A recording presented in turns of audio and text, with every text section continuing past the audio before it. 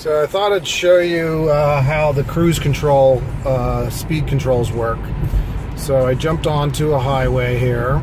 Um, by the way, the speed limit right there is being calculated, I heard, from uh, a database instead of reading the speed limit signs.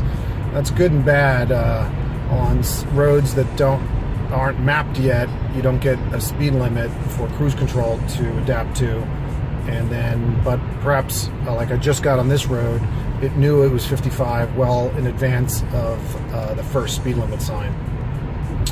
So uh, one click down here on the stick uh, puts you into cruise control.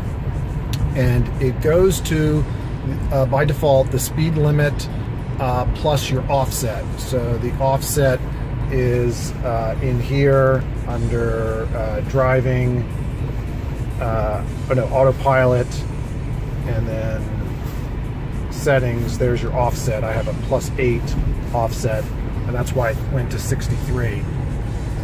Then uh, single touches on the plus and minus sign here go up by one mile an hour or down by one mile an hour. A touch and hold uh, takes you up to the next five position and a down and hold takes you down to the next five position. So it doesn't go by fives when you touch and hold, it goes to the next five uh, position. I press the, uh, that's interesting, I press the power pedal. Let me try that again. So I'm going to put on cruise control and then touch the power pedal. Maybe I touched the brake. I don't know. That was weird. So I'm going to go down, touch the power pedal, I must have touched the brake that popped it all out of cruise control. So that's how you uh, adjust your speed in cruise control. Uh, you can also just touch the speed limit sign and it'll go to your speed limit plus your offset. So if your offset is zero, you're going to be able, you'll start at the speed limit and uh, when you touch the speed limit sign, just switch to that speed limit. Um, as you change to uh, roads with different speed limits, I don't believe it auto adjusts to the current road's speed limit uh, with your offset. I think once you have engaged uh, cruise control, it's going to stay at that speed. So if you drive into a side street with a lower speed limit, uh, you're going to have to uh, manually either touch the speed limit or um, uh, go down or hit the brake to come out of cruise control.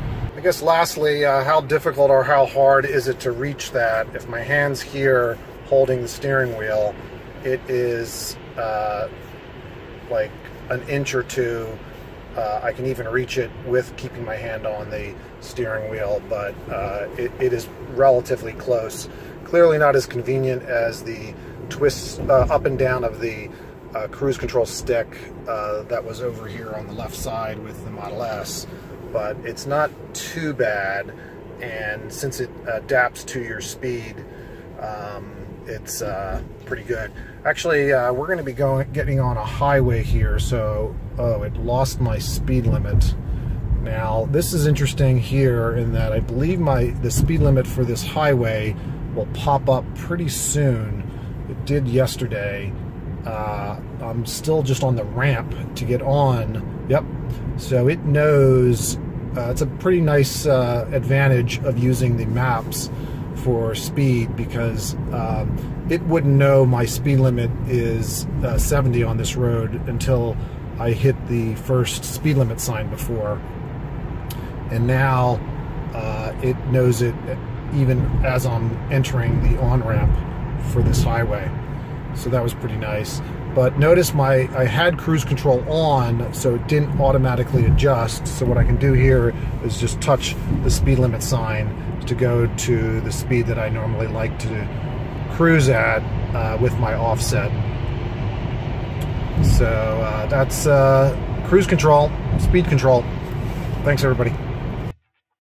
Hey, thanks for watching. If you want to learn anything else about the Tesla Model 3, just uh, put it in the comments and I'll try to make a video. Uh, if you want to see some of my other videos, they're here in the top right. And uh, check out my son's channel, The Nerdwriter.